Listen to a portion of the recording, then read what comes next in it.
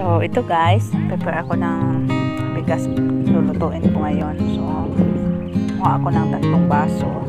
Kasi everyday tatlong baso yung kinukunsyog namin. So, ito, kabera natin ulit. Yung baldi. Tsaka, ito na, dali natin doon sa hugasan. So, next step, uh, hugasan natin yung bigas.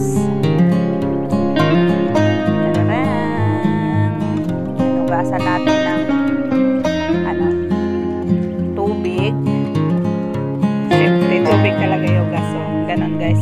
So, dahan-dahanin natin. So, ayun guys, dahan-dahanin lang natin para hindi maputol yung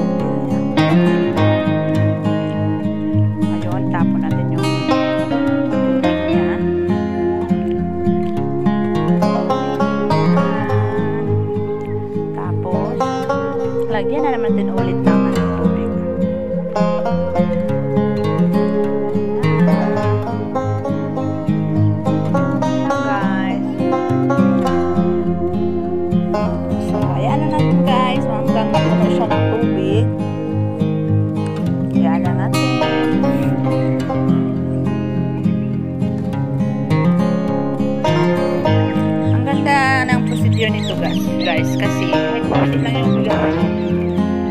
Pagluto na, ang dami ng ano, umami siya. Tipid talaga sa bigas.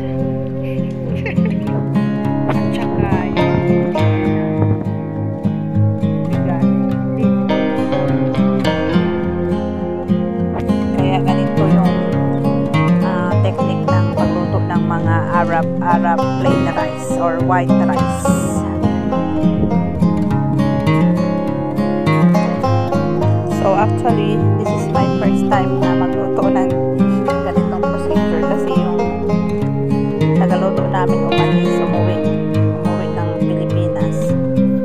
So, ito na. Try, try ako na magluto ng plain rice. Marunong naman tayo nitong paraan na ganito. So, yan. Haluin lang. So, yung tubig, tapon natin ulit.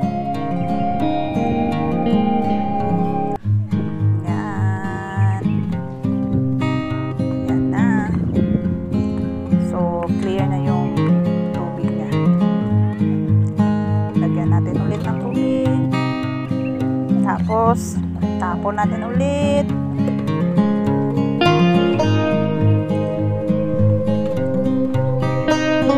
na guys. So, clear na siya. So, set aside natin.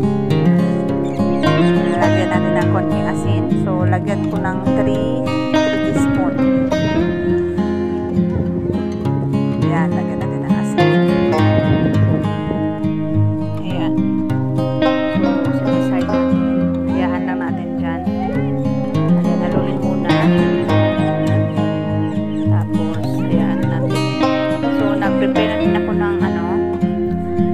water sa pot. Lagyan na ng konting oil at saka asin din. Lagyan din ulit ng asin.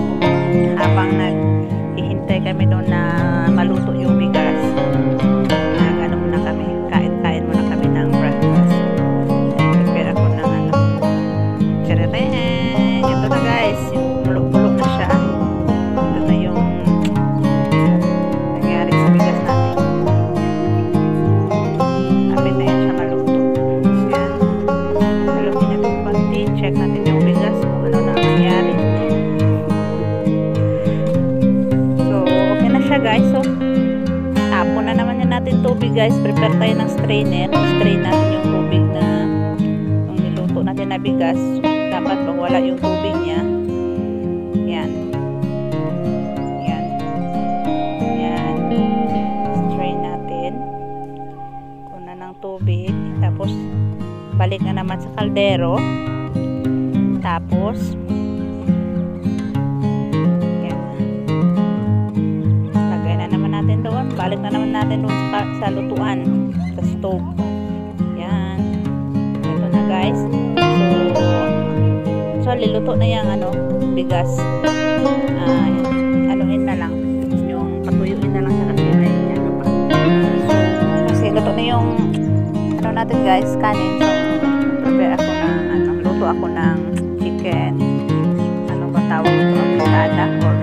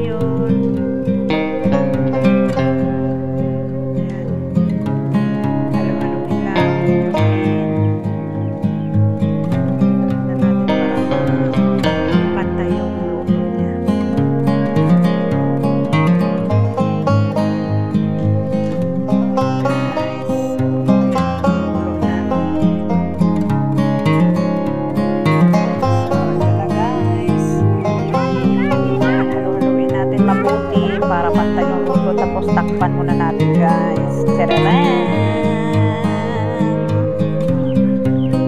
Ito na naman guys. Lagyan natin ng